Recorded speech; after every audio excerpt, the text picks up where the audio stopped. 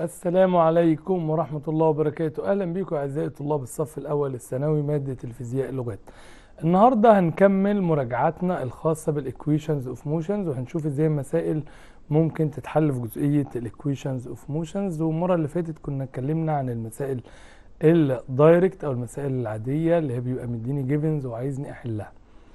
النهاردة عايزين نتكلم عن كذا نوع مسائل تاني. منهم نوع المسألة اللي بنقول مسألة مركبة من كذا مسألة في بعض. يعني إيه؟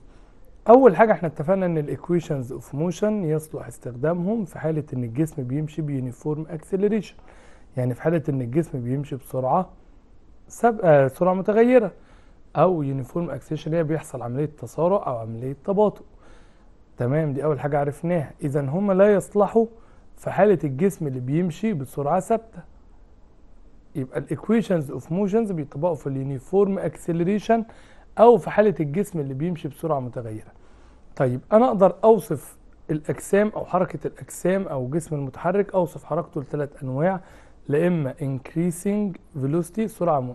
تسارع constant velocity لا إما decreasing velocity يعني أنا أقدر أستخدم ال equations of motions في كل منطقة من دول لوحدها يعني أنا لو هحل مسألة لقيت جسم سرعته زادت بعد كده سرعته ثبتت بعد كده سرعته قلت بعد كده زادت تاني يبقى أنا لما أجي أستخدم ال equations of motions ما ينفعش أطبقها على كل الحالات دي في نفس الوقت لأ أنا باخد كل حالة لوحدها بدرسها لوحدها.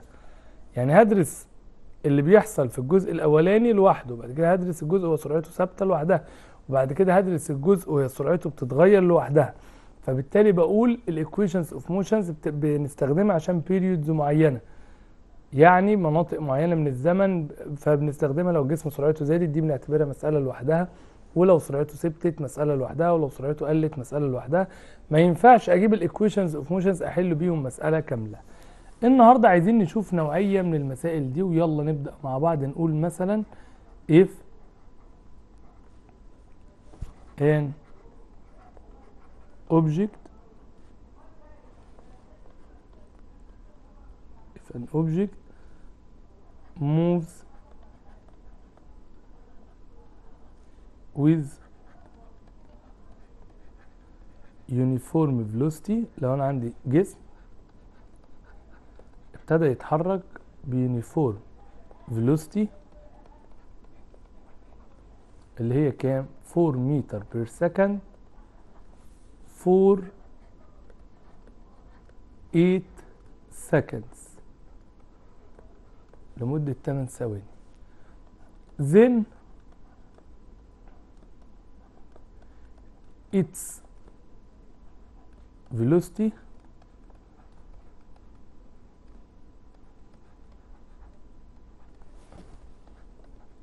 increases rate 4 meter per second square for 6 seconds. Then find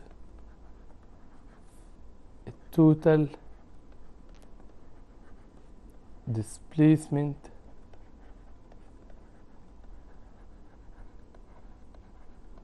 during all journey. يعني إيه الكلام ده؟ بيقول لي إن أنا عندي جسم مشي بسرعة ثابتة مقدار السرعة الثابتة دي 4 meter per second يبقى أنا a body moves with uniform velocity of 4 meter per second يبقى السرعة الثابتة اللي كان ماشي بيها اللي كانت 4 meter per second for 8 seconds لمدة 8 ثواني. يبقى الجسم ده كان ماشي بسرعة ثابتة اللي هي 4 متر per second for 8 seconds لمدة 8 ثواني. بعد كده its velocity increases by rate 4 متر per second square for 6 seconds. بعد كده سرعته ابتدت تزيد بمقدار 4 متر per second square لمدة 6 ثواني. عايز أحسب ال total displacement during all of this journey. فالسؤال اللي هنا لو إحنا ركزنا فيه هنلاقي إن هنا الجسم مر بمرحلتين. إزاي؟ أول مرحلة تعالوا نشوف مع بعض كده يبقى دي مسألتين مش مسألة واحدة. تعالوا نتخيلها ك graph أنا بحب المسألة دي أرسمها graph لما الجسم بيمر بأكتر من مرحلة. أول مرحلة الجسم كان ماشي بسرعة ثابتة. السرعة اللي كان بادي بيها هي 4 متر per second. جسم سرعته كانت ثابتة أهي. 4 متر per إيه؟ per second. وبعد كده الكلام ده استغرق معاه 8 ثواني. يعني لقيت الجسم ده سرعته كانت 4 متر per second بس لمدة إيه؟ 8 ثواني. بعد كده لقينا سرعة الجسم ده ابتدت إيه؟ تزيد. قعدت تزيد لمدة قد إيه بقى أعزائي الطلاب؟ قعدت تزيد لمدة ست ثواني كمان يعني هنقول كانت مرت 14 ثانية. نقول هنا مرت 14 ثانية. يعني هقدر أقول إن في الجزء الأول الزمن اللي استغرقه الجسم هي 8 ثواني بينما في الجزء, الجزء الثاني من حركة الجسم الزمن كان استغرق 6 ثواني وهنا كان بيتحرك ب acceleration يعني سرعة عمالة تزيد بمقدار 4 متر per second square يبقى دول مش مسألة واحدة أعزائي الطلاب دول مسألتين. أول مسألة اللي هي من point A لغاية point B لما الجسم كان ماشي بسرعة ثابتة وتاني مسألة لما كان ماشي من B ل C لما سرعته متغيرة. يبقى أنا لازم أحلهم كأنهم مسألتين. في الجزء الأول كان الجسم ماشي بسرعة ثابتة. إذا ما ينفعش أستخدم ال equations of motions بينما في الجزء الثاني من المسألة اللي هو ال BC الجسم كان سرعته ابتدت تزيد. إذا في ال BC أقدر أستخدم ال equations of motions يبقى بنأكدها تاني ال AB ما ينفعش أستخدم ال equations of motions لأن سرعة الجسم ثابتة بينما في الجزء BC ينفع عادي أستخدمها لأن سرعة الجسم ابتدت إيه؟ تزيد. طب هحلها إزاي أعزائي الطلاب؟ يلا كده نبص مع بعض هنحلها إزاي؟ يبقى أنا هدرس كل period of time لوحدها. فاول جزء هبتدي أدرسه أو أحل فيه هو ال 8 seconds أول 8 ثواني. إحنا قلنا في أول 8 ثواني الجسم ده كان ماشي ب uniform velocity يعني إيه uniform velocity يعني كان ماشي بسرعة ثابتة. السرعة الثابتة دي مقدارها كام؟ 4 متر per second. تعالوا نكتب ال givens اللي عندي في أول 8 ثواني. أول 8 ثواني كان معايا ان إن سرعة الجسم ب 4 متر per second كان معايا إن ال time ب 8 seconds طبعا وكان معايا إن ال acceleration ب zero. ما هو بيقول لك ماشي ب uniform velocity إذا في أول 8 ثواني معايا ال velocity معايا ال time معايا ال acceleration ب zero لأنه ماشي بسرعة ثابتة. طالما أنت معاك كل دول عزيزي الطالب تقدر تقول لي دلوقتي إن أنت ال acceleration ب zero يبقى أنا هنا ما ينفعش أستخدم ال equations of motion لأن سرعة الجسم ثابتة. طب هجيب ال distance إزاي؟ عن طريق ال velocity times ال time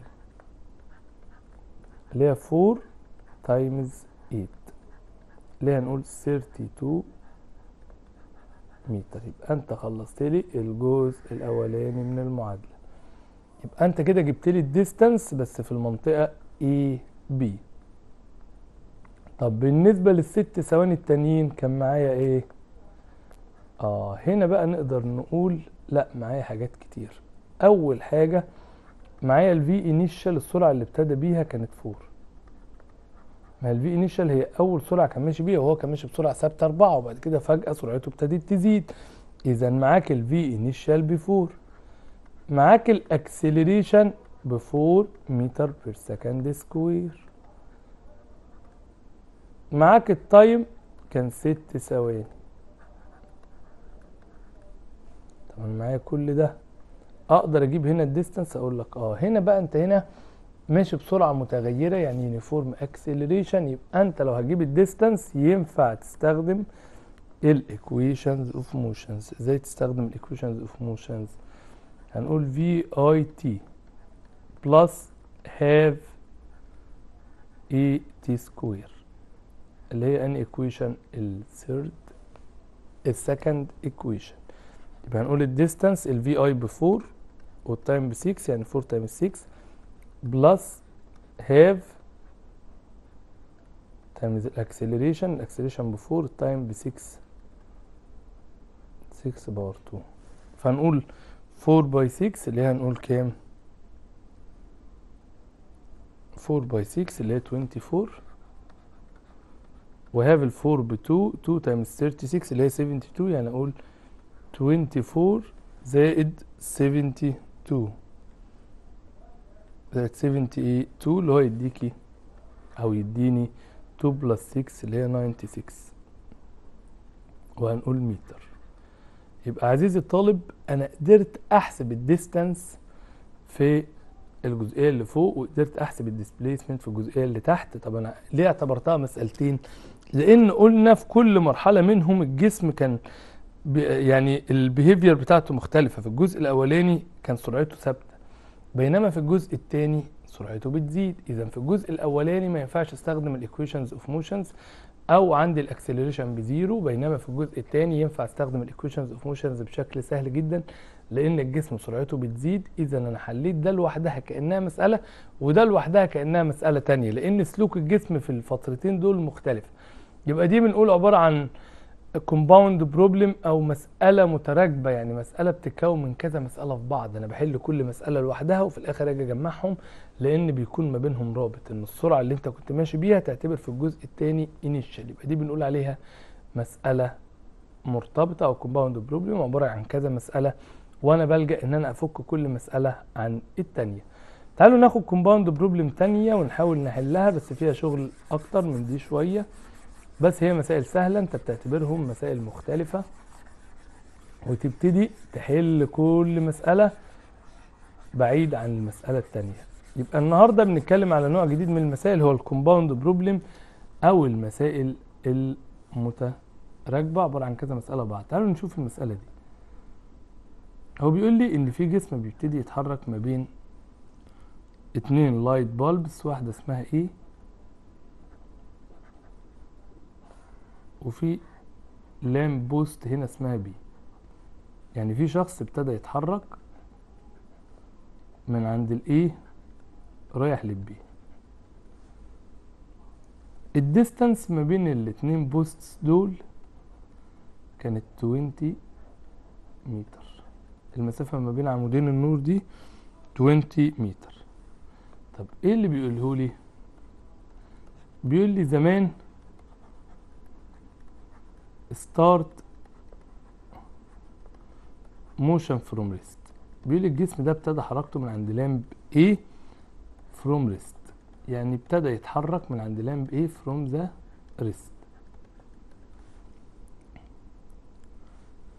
With acceleration الجسم ده مع بداية حركته كان بيبتدى يتحرك ب acceleration يعني سرعته ابتدت تزيد مقدارها 0.5 متر per second square دي اسمها ال compound problem till its velocity لغاية ما سرعته بقت قد إيه أعزائي الطلاب؟ لغاية ما السرعة بتاعته وصلت ل 20 متر per second till its velocity أو reaches 2 متر per second يعني الجسم ده ابتدى يتحرك with uniform acceleration 0.5 till its velocity reach 2 meter per second. Then he moves uniformly.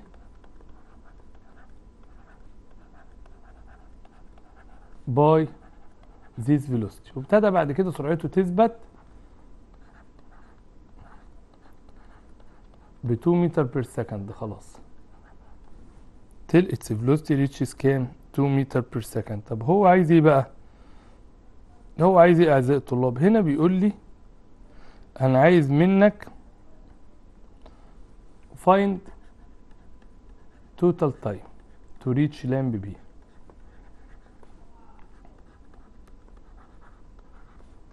To reaches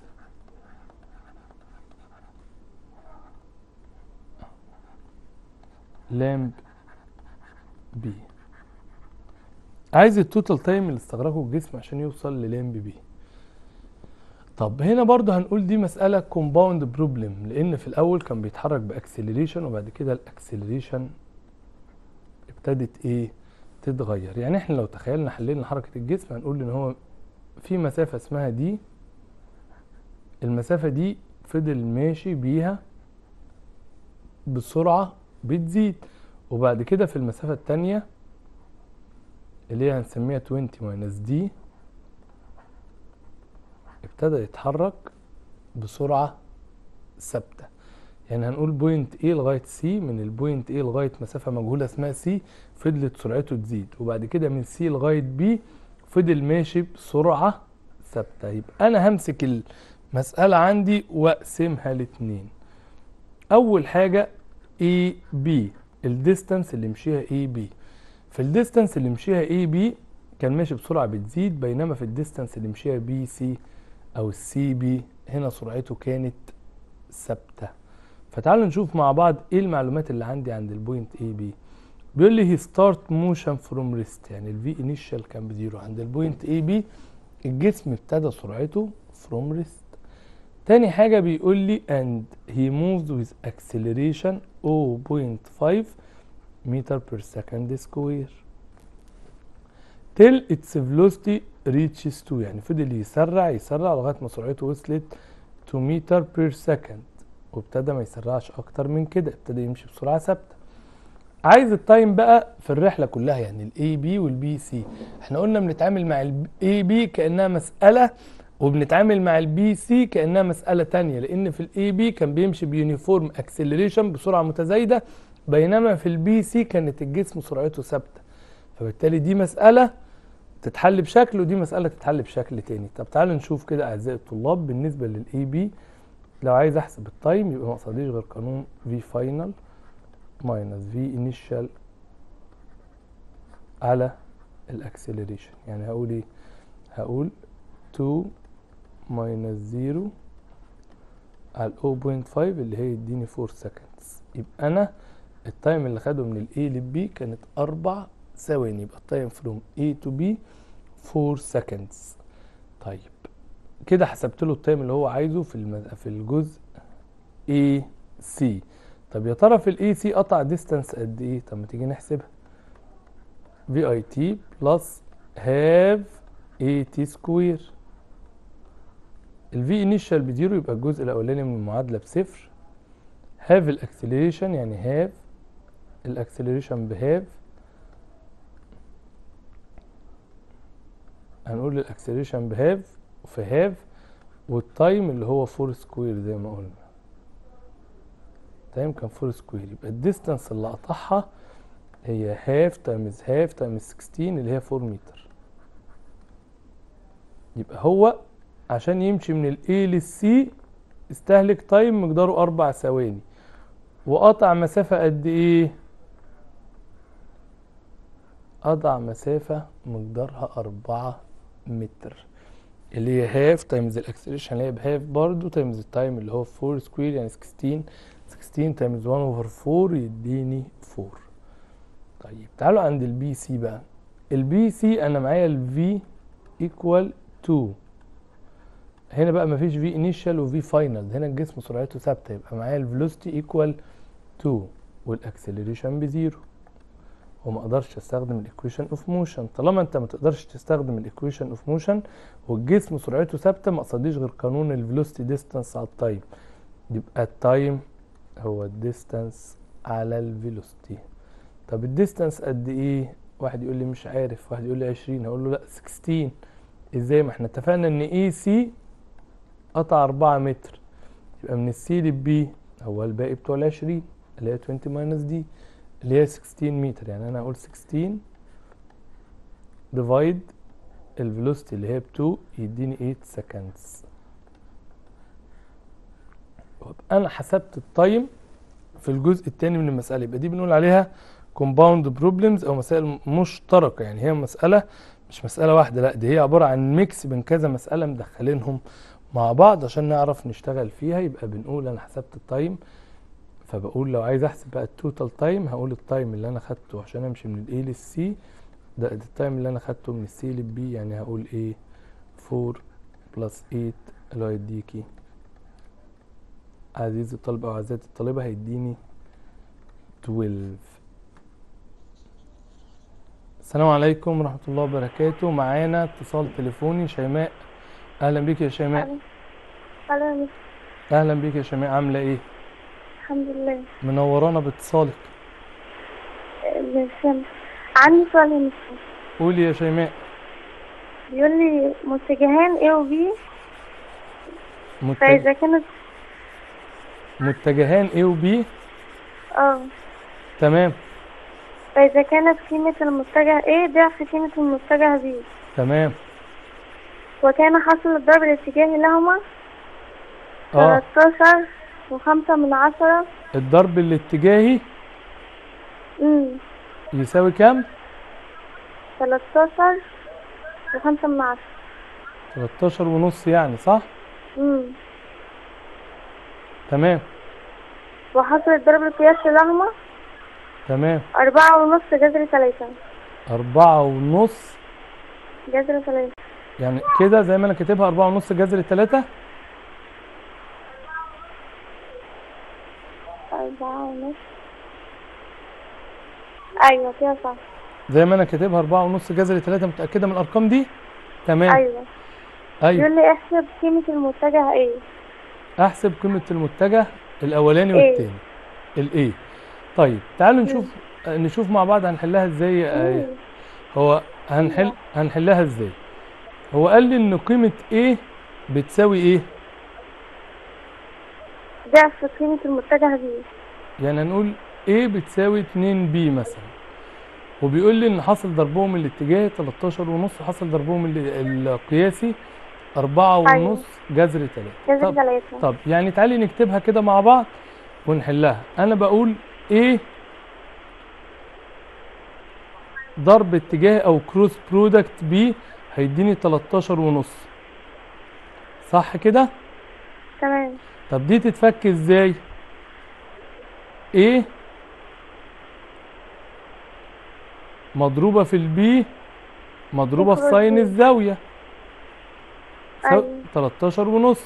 طب ما إحنا عندنا ال A ب 2 B يعني أنا أقدر أقول 2 B square sine الزاوية يساوي كام؟ تلاتاشر ونص. وأروح أقول دي معادلة واحد. طيب. A cross B آه A dot B بقى اللي هو حصل الضرب القياسي بيساوي كام؟ cosine الزاوية أيوه هيساوي أربعة ونص وجذر تلاتة. مضروبة في B في cosine الزاوية بيساوي كام؟ أربعة ونص جذر تلاتة. طيب يعني برضو ال A باتنين B فأقول اتنين B square cosine الزاوية بيساوي أربعة ونص جذر إيه؟ جذر تلاتة صح كده ولا لأ؟ تمام. فهمت المعادلة دي جت منين ودي جت منين؟ آه. لو أنا قسمتهم على بعض هيديني إيه يا شيماء؟ الاتنين بي هتروح مع الاتنين بي تربيع ويفضل لي sine. cosine cosine sine على ال cosine يساوي 13 ونص على الأربعة ونص جذر تلاتة sine على ال cosine يديكي إيه؟ tan. tan. tan theta يبقى tan ال theta بتساوي إيه؟ بتساوي المقابل على المجاور. اللي هي 13 ونص على أربعة ونص جذر تلاتة 13 ونص مقسومة على أربعة ونص جذر تلاتة أعمل بقى للكلام ده هيطلع شيفت تان تمام هيطلع لي الزاوية يبقى أنت لو قسمت ده على ده هيديكي إيه؟ الزاوية الزاوية. فاهمة إزاي؟ طب ما لو طلع آه. لي الزاوية أعمل إيه؟ أعمل إيه كده يا شيماء؟ لو طلع لي الزاوية. مم. اولا الزاوية هنا هتطلع عندي بستين. امم صح؟ أيوة. أجي أعوض في المعادلة الأولى. اتنين بي تربيع في sine ستين يساوي إيه؟ تلاتاشر ونص. كده بقى عندي المعادلة دي فيها مين المجهول؟ اللي هي ال A B اتنين ال- B اتنين B تربيع. يعني انت لو عايزة تحسبي ال B هت... هتقولي ان ال B تربيع بتساوي 13 ونص على وت- ستين على 2 مضروبة في sine 60 مم. يبقى انت كده بتحسبي ال B هتقولي ال B هي عبارة عن إيه؟ جذر. وتبعتيها بجذر بقى اللي هي 13 ونص على 2 في sine كام؟ سيتا. في sine theta اللي هي ب 60 هتطلع ال B تقريبا ب 2 و8 من 10 متر. أو بقى مهما تكن وحدة قياس جبت البي أقدر أجيب هروح الإيه؟ أجيب الإيه؟ ما هي الدبل بتاعها. تمام يا شيماء. شكرا على المسألة دي. شكرا قوي يا مستر. شكرا يا شيماء. آه شكرا. شرفتينا يا شيماء باتصالك. ونتمنى دايما اتصالاتكم ومتابعتكم لينا أعزائي الطلاب. طيب هي مسألة كويسة جدا بتعتمد على بس إنك تقسم المعادلتين عشان توصل لتاني الزاوية وصلت لتاني الزاوية تقدر تكمل حل المسألة عادي ما فيهاش أي مشاكل. يبقى إحنا نرجع تاني لموضوعنا وقلنا إن في نوع من المسائل اسمه compound problems أو مسائل زي ما بنقول بنقول مسائل مركبة. يعني هي ما بتبقاش مسألة واحدة هي مجموعة مسائل متوصلة ببعض. فنبتدي نحل كل جزء منها لوحده. تاني مسائل عايزين نتكلم عنها ال graphs and slopes المسألة اللي في الأول اللي كان طالب مني ال displacement كنت آه لما جيت حليتها معاكم كانت مسألة بسيطة جدا وإن أنا حسبت المسافة وهو ماشي بسرعة ثابتة لوحدها والمسافة وهو ماشي بسرعة متغيرة لوحدها. بس إحنا قلنا وأكدنا إن أنا لو لقيت graph ما بين ال velocity وال time يبقى أكيد ال ال ال slope اللي عندي هو ال acceleration وال area اللي تحت ال graph دي هي ال displacement. لو أنا قدرت أجيب ال area اللي تحت ال graph يبقى أنا كده قدرت أجيب ال displacement. فتعالوا نرجع للثلاث معادلات بتوعنا. V equal VI plus AT D equal VIT plus half AT تربيع. دي المعادلة رقم اتنين.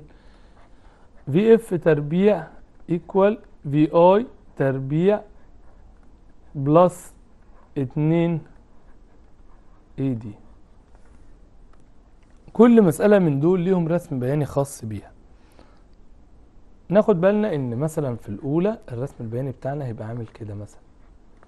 هو رسم ما بين سواء بقى بادي من الصفر أو بادي من فوق فإحنا بنتكلم هو رسم ما بين السرعة والزمن. لو بادي من الصفر معنى كده إن ال V initial أو السرعة ال starting ب zero. أما لو مش بادي من الصفر يبقى ال V initial ليها قيمة معينة ما أقدرش أفترضها وأهملها ب zero. قلنا graph ال velocity time ده graph مهم جدا. graph ال velocity time ده graph مهم جدا. قلنا ليه ال graph ده مهم؟ لأن أنا قلت لك لو أنت قدرت تحسب ال slope بتاع ال graph ده ال slope هنا بيمثل ال acceleration أما لو أنا حابب أحسب ال area اللي تحت ال graph ده يبقى أنت حسبت ال displacement يعني أنا لو قدرت أحسب ال area دي ابقى أنا حسبت الإيه؟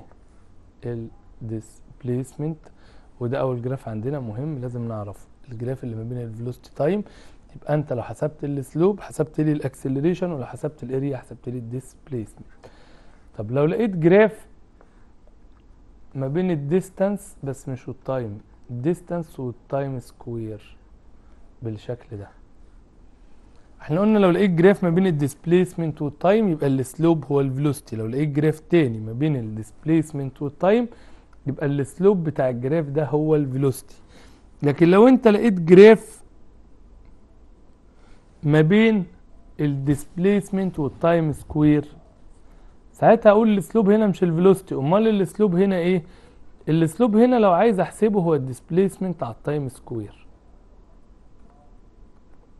الديسبليسمنت على التايم سكوير وناخد بالنا إن ال V initial ب zero يعني الجزء الأولاني من المعادلة ده مش موجود. يعني ساعتها بنقول ال displacement بتساوي half AT square يبقى لما أقسم ال displacement على ال T square يبقى ال slope اللي أنا حسبته هنا هو half ال acceleration يبقى في فرق بين جراف الديستانس تايم وجراف الديستانس تايم سكوير جراف الديستانس تايم سكوير ولو لقيته بادي من ال origin يعني بادي من عند ال zero معنى إن هو بادي من ال zero إن الجسم ده ابتدى يتحرك من ال rest وطالما الجسم ده ابتدى يتحرك من ال rest يبقى إيه؟ يبقى ال V initial ب zero يبقى القانون هيبقى ال distance أو ال displacement بتساوي half ال acceleration في ال time square فلما ألاقي graph ما بين ال distance time square يبقى ال slope هو ال distance على ال time square يعني ال slope هنا هو half ال A يعني ال slope اللي أنا هحسبه ده مش ال acceleration. أمال ده إيه؟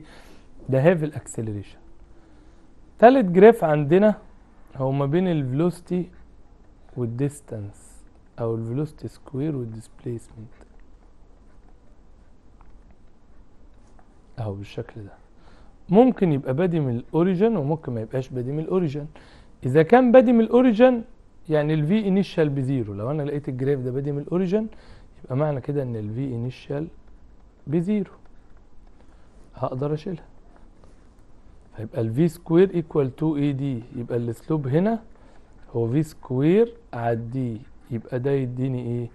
ال slope هنا هو double ال acceleration يبقى تاني أعزائي الطلاب لو أنا لقيت graph ما بين ال distance time square يبقى ال slope هنا هو half ال acceleration لكن لو أنا لقيت graph ما بين لقيت graph ما بين ال velocity square وال displacement يبقى ال slope هنا double ال a تاني graph ما بين ال displacement وال time square يبقى ال slope اللي أنت هتحسبه هو half ال acceleration graph ما بين ال velocity square وال displacement يبقى ال slope اللي أنا هحسبه هنا هو two acceleration ودي بنقول عليها مسائل graphs إنك بتحاول تطلع ال givens من ال graphs يلا نشوف مع بعض كده. مسألة بتعتمد على ال graphs نحاول نشوفها مع بعض كده ون... ونبتدي نحلها ويلا مع بعض نبدأ ونشوف إيه المسألة بتاعتنا. المسألة بتاعتنا برضو مسألة graph رسم لي في المسألة دي graph ما بين إيه؟ ما بين ال displacement وال time square اهو دي graph ما بين ال displacement وال time square وال graph رسمه لي بالشكل ده. ومحدد لي نقط عليه. إزاي؟ يعني مثلا قال لي لو ال time square ب 2 عندها ال distance كانت ب 5 طيب لو ال time square كان لو ال time square عندي كان ب four كان ال displacement عندي ب 10 لغاية ما وصل لآخر حاجة. طب لو ال time square كان ب 10 قال لي يبقى ال displacement ب 25 وهكذا. زي ما إحنا شايفينه بقى في نقط كتير بقى في النص. يعني بيقول لي لو هي كانت ب 6 كانت ب 15 ولو هي ب 8 كانت ب 20 ودي نقطة لوحدها لو هي ب 8 ال displacement هتبقى ب 20 أهو زي ما إحنا شايفين هو رسمها لي كده. يعني هو راسم لي مجموعة نقط على ال time square ومجموعة نقط على ال distance وبيقول لي إيه؟ بيقول لي بيقول لي a body moves by uniform acceleration. يعني ال graph اللي قصادنا ده عبارة عن graph بيوضح حركة جسم بيمشي ب uniform acceleration. Find its velocity after 10 seconds. عايز سرعة الجسم بعد مرور 10 ثواني. بيقول لي the following graph show the movement of a body with uniform acceleration. Find the velocity of that body after 10 seconds. يعني ال graph اللي قصادنا ده بيوضح لي حركة جسم. الجسم ده بيوضح لي حركة جسم بيمشي ب uniform acceleration عايز سرعته بعد مرور 10 ثواني أحسبها إزاي؟ طب يلا نشوفها مع بعض كده. أول حاجة أنا بجري أحسب ال slope. ال slope إن أنا آخد نقطتين من ال y على نقطتين من ال x وليكن 15 و10 و4 و6 في واحد تاني ممكن ياخد نقطة واحدة بالنسبة لل origin يعني يقول لي 15 و0 و6 و0 هقول له ممتاز. كده صح وكده صح. يبقى هنقول 15 minus 10 لأن الجسم بادئ من ال origin خلي بالك. على 6 minus 4 يعني ده هيديني كام؟ 2.5 طب ده كده جبت لي ال slope تاني حاجة هتعرف مين ال slope إحنا اتفقنا لما ال slope يبقى ال distance على ال time square وخد بالك الجسم بادئ من ال origin يعني ال v initial ب zero ودي لازم نأكد عليها الجسم بادئ من ال origin يعني ال v initial ب zero. يبقى ال distance على ال time square بيساوي half ال acceleration يعني half ال acceleration بتساوي 2.5 أنا أقول له اذا half ال acceleration ب 2.5 يبقى ال acceleration بكام؟ ب 5 متر per second square يبقى أنا قدرت أستنتج كذا حاجة من ال graph ده. أول حاجة جبت ال slope وقلنا ال slope في الحالة دي هو half ال acceleration اذا ال acceleration عندي بكام؟ ب 5 متر per second square قدرت أستنتج إن ال v initial ب zero واحد يقول لي ليه؟ هقول لك عشان بادي من ال origin أهو. بدايته كانت ال displacement ب zero يعني هو بادي من ال rest ما كانش بيتحرك. المسافة كانت بايه ب zero طيب ممتاز جدا. كده أنا معايا ال acceleration ب 5 هو عايز ال velocity after 10 second عايز ال v final ومديني time يبقى لازم استخدم ال first equation يبقى لما يقول لي find the velocity of that object after 10 seconds from the beginning of the motion يبقى لازم استخدم ال first equation of motion v final equal v initial plus 2 uh, plus at يبقى هقول v final equal v initial plus at اذا ال v final بتساوي ال v initial اللي هي 0 زائد ال 5 ال time ب 10 يبقى هنقول 50 متر per second 50 متر per second بس عشان دي velocity وكده حسبناها. طب يلا نمسح ونشوف مسألة graph تانية. يلا كده أعزائي الطلاب فهمنا مسائل ال graph دي بتتعمل إزاي. يلا نشوف بقى مسألة graph تانية كده ونشوفها مع بعض. ال graph التاني مسألة جميلة جدا بس ما بين ال velocity وال time يبقى أنا معايا graph تاني.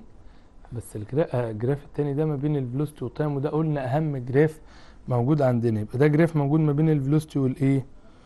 وال time ورسمه لي بالشكل اللي أنت شايفه كده uniformly relationship وزي ما إحنا شايفين هو بادي من عند ال origin يعني بادي من عند ال zero اذا ال velocity ب zero. وبيقول لي يا مستر لما التايم كان بسكند الفيلوسيتي كانت بتو بعد مرور ثانيتين لا هو بيقول لي معلش بعد مرور ثانيتين هنا دي غلط هو بيقول لي معلش هنرسمها تاني بسرعة كده. ال given اللي موجود عندي. أهو رسم ال graph أو نرسمها تاني بسرعة معلش. graph ما بين ال velocity وال time أهو. بيقول ال graph اللي عندك ما بين ال velocity وال time. شكل ال graph عامل إزاي؟ قلنا direct relation بالشكل ده. طب إيه ال given اللي مديها لي؟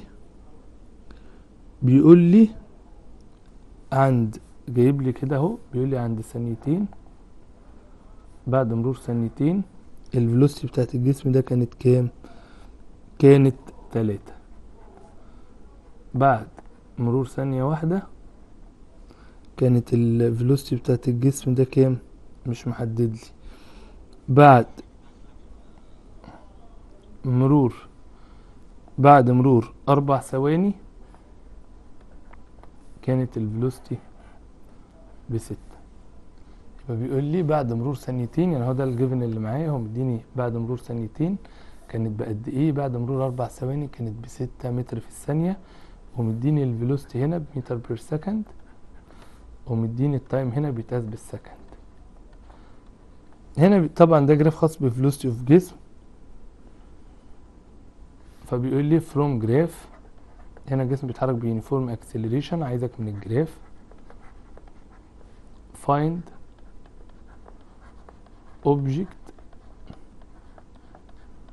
velocity.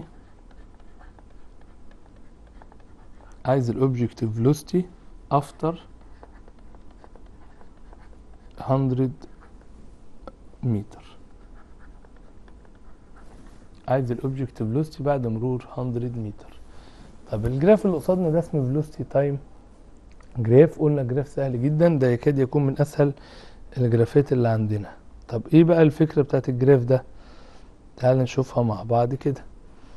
أول حاجة هنتكلم عنها دلوقتي أنت مديني إن لما ال time باتنين كانت السرعة بتلاتة ال time لما أربعة السرعة بستة. فأول حاجة هروح أجيب ال slope ممكن واحد يجيب لي ال slope اللي هو يقول لي ستة ناقص تلاتة على أربعة ناقص اتنين. ممكن واحد تاني يقارنها لي بالنسبة لل origin فيقول لي ستة ناقص zero على أربعة ناقص zero. هقول له ممتاز كده صح وكده صح. يعني سواء استخدمت ده أو قلت لي ستة ناقص تلاتة على أربعة ناقص اتنين سواء كده أو كده هيدوا نفس النتيجة. اللي هو في الآخر هيديني واحد ونص. طب مين الواحد ونص ده؟ ال graph ده velocity على ال time يعني أنا بعد ما أحسب ال slope هحاول أشوف مين ال slope ده.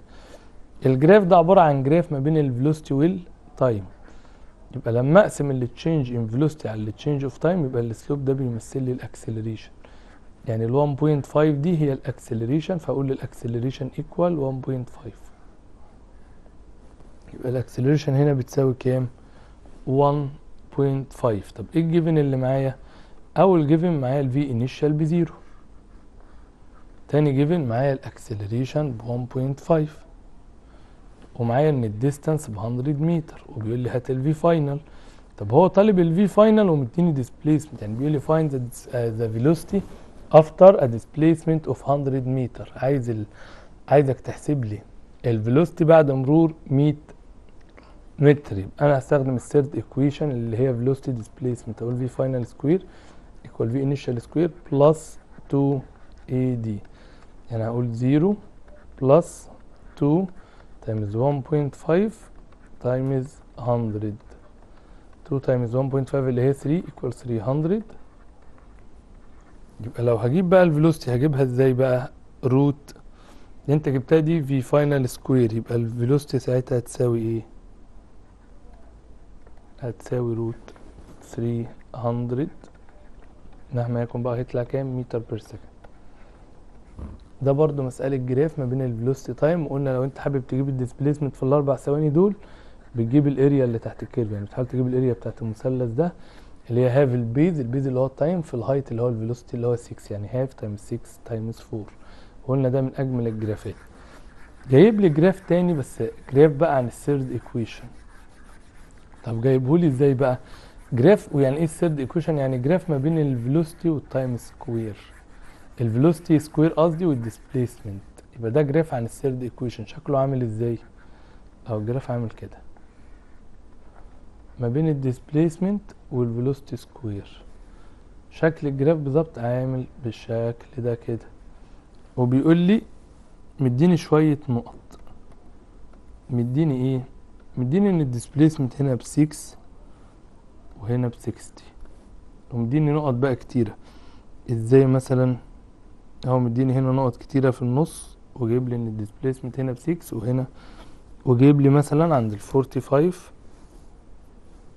كان ال time 1.5 مديني شوية معلومات كده بيقول لي لما ال velocity square كانت بتساوي 1.5 كانت ال displacement هنا ب 1.5 مديني مثلا لما كانت ب 30 لما ال velocity square كانت ب 30 كانت إيه؟ كانت عند 3 وهكذا بقى. مديني givens كتيرة بالشكل ده. يبقى هو مديني givens وهنا كانت ب zero لما displacement كان ب 6 وهنا كانت ب 60 لما ال displacement كانت ب zero طبعا ده graph ما بين ال velocity square وال displacement زي ما إحنا شايفين ومديني بس شوية نقط عليه. ناخد بالنا إن ال graph ده لو بصينا فيه وركزنا هنلاحظ إن الجسم بيتحرك ب uniform deceleration يعني أنت لو ركزت هتلاحظ إن إيه؟ ال graph ده الجسم كان بيتحرك فيه ب uniform deceleration بيقول لي find إيه؟ عايز حاجتين من ال graph ده. find ال acceleration value اتنين and the time of motion of that body. وعايز ال time يستهلكه الجسم لغاية ما قطع ال displacement 6 دي هنحسبها إزاي؟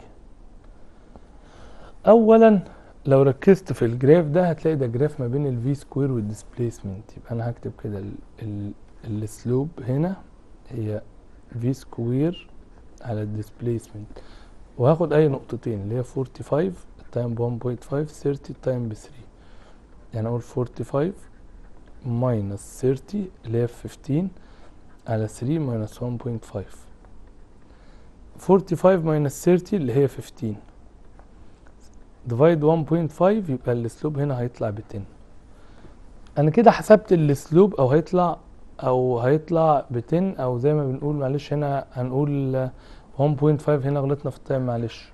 عشان تطلع minus 1.5 اللي هي ب negative 10 هنقول 40 minus 30 على 1.5 minus 3 فبالتالي ده هيطلع لي في الآخر على negative 1.5 يبقى ده هيطلع لي negative 10 negative 10 وأنا ما أعرفش ال unit لأن أنا مش عارف ده مين. بافتراض إن إحنا لسه مش عارفين ده مين. يبقى أنا قلت بختار نقطتين في ال y اللي هي 45 وال 30 يبقى 45 minus 30 1.5 minus 3 وادي نقطتين في ال x. في 10 طب لما أنا أقول ال slope ما بين ال velocity square وال distance وأنا معايا ال v initial ب zero خد بالكوا بقى ال v initial كانت ب 60 معلش. انت كده السرعة اللي ابتديت بيها ب 60 وال v final هي اللي معايا ب zero ما هو الجسم اهو. أول سرعة ابتدى بيها كان 60 وآخر سرعة انتهى بيها كانت ب zero اذا أو هنا دي ال velocity square معلش يعني ال v initial ب root 60 ال v initial ب root 60 وال v final ب zero أو ال v initial square ب 60 يعني أنا السرعة اللي ابتدى بيها square كانت 60 يعني ال v initial ب root 60 السرعة اللي انتهى بيها ب zero. طب لما أقول لك velocity square على ال displacement يبقى ال ال slope هنا 2 a اللي هو ال third equation اللي هي v final square equal v initial square plus 2 a d فلما أقول لك v square divide d يبقى ال slope هو 2 ال يعني ال negative 10 دي هي 2 a يعني هقول ال 2 a equal negative 10 إذا ال a equal negative 5 يبقى أنا عمال أطلع givens أهو. أدي تالت given أطلعه. يبقى أنا اللي التلاتة givens اللي معايا لغاية دلوقتي إن أنا ال acceleration ب negative 5 متر per second square وال v initial square equal 60 يعني ال v initial ب root 60 وال v final equal 0 انت عايز تحسب إيه بقى؟ عايز تحسب ال acceleration جبناها ب negative 5 تاني حاجة عايز تحسب ال time هقول لك مفيش مشكلة ال time بيساوي v final minus v initial على ال acceleration. ده 0 minus root 60 over negative 5 0 minus root 60 يعني هنقول minus 0 minus root 60 اللي هي minus root 60 divide minus 5 اللي هو يديني كام؟ هنلاقي ال time هنا هيطلع ب 1.54 second أو 1.55 approximately أو 1.6 لو عملت لها بقى approximation جامد جدا. يبقى أنا قدرت كده من ال graph ده أحسب ال slope اللي موجود عندنا وال slope اللي موجود عندنا هو هنا 2 acceleration يبقى أنا في فرق ما بين graph distance على ال time square يبقى ال slope half ال a أو graph ما بين ال v square على ال d يبقى ال slope هو 2 ال acceleration كده إحنا قلناها. طيب. برضو من المسائل اللي بتيجي جدا مهمة جدا اللي هو يقول لي body moves according to relationship يعني إحنا النهارده اتكلمنا عن نوعين من المسائل اللي بتيجي في ال equation of motion النوع الأولاني اللي هو بيتكلم عن النوع الأولاني بتاع ال equation of motion اتكلمنا على ال compound problem المسألة المركبة يعني إيه مساله مسألة مركبة. يعني دي مسألة بتتكون من أكتر من مسألة داخلين جوه بعض. جسم سرعته زادت فثبتت فقلت فزادت تاني. فقلنا لما أجي أحلها بدرس كل حتة لوحدها. يعني الجزء الأولاني بحله لوحده الجزء الثاني بحله لوحده والجزء الثالث بحله لوحده. دي بنقول عليها مسألة compound فكأنها مجموعة مسائل انت حاططها لي جوه بعض وبتحل لي كل حتة لوحدها. اتكلمنا عن مسائل الجرافس وقلنا دي مسائل مهمة جدا جدا جدا. نتكلم على مسائل body moves according to relation. لو قلت لك body moves according to relation.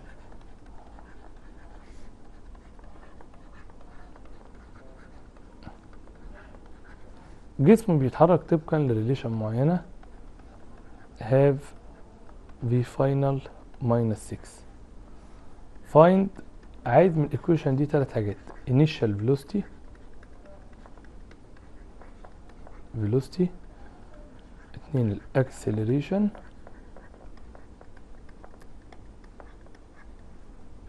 تلاتة displacement after 10 second يا ترى ال equation لما يقول لي body move according to which relation بحاول أوصل لل equation دي شبه مين؟ إزاي؟ حسب ال given اللي فيها. ال equation دي فيها v final و time ال equation الوحيدة اللي فيها v final و time هي ال first equation يبقى دي شبه ال first equation بس مش مترتبة. ال first equation فيها ال v final لوحدها. فلازم أخلي هنا ال v final لوحدها.